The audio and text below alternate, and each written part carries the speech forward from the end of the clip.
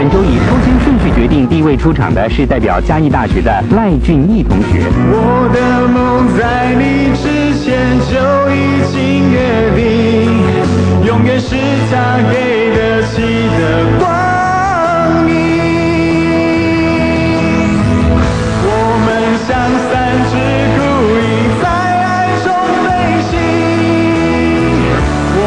您还记得当时在嘉义大学评审给了赖俊义同学怎么样的评价吗？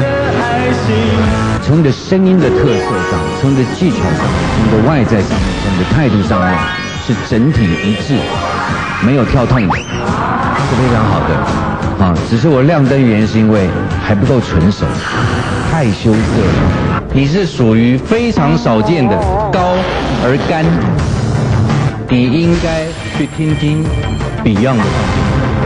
你要表现要一致，内外要一致，你不能用内心的压抑你外在的一个表现，这样就就差一点点。当时的赖俊义同学虽然被评审点出个性太过羞涩，内心太过压抑，但是拥有稳定的演唱水准与具有偶像的气质，还是让他在嘉义大学脱颖而出，成为校园冠军。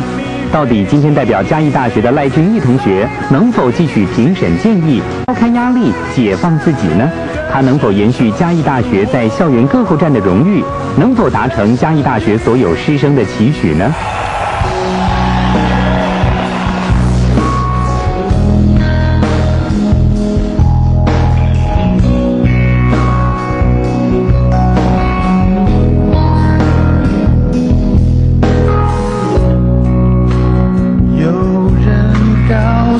我，爱情。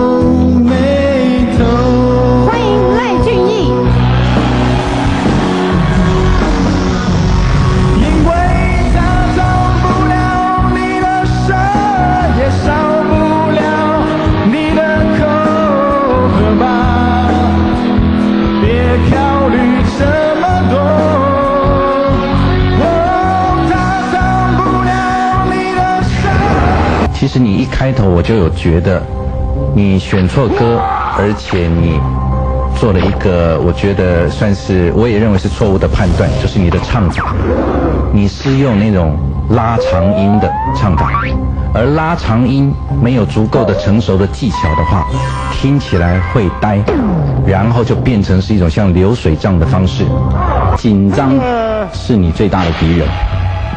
其实你的本质在歌声上，跟在诠释的歌曲的情感度来讲，其实是足够的。当你换了一个环境的时候，全然都失去了，你一些基础功夫都不见了。其实这首歌呢，如果照你的个性这样表现来讲，我不觉得是说选错歌，而是你演唱的方式。可是你要把所有该拉长的部分都收短，恰到好处就好。我只能说，从头到尾是你没有判断清楚怎么演唱这首歌。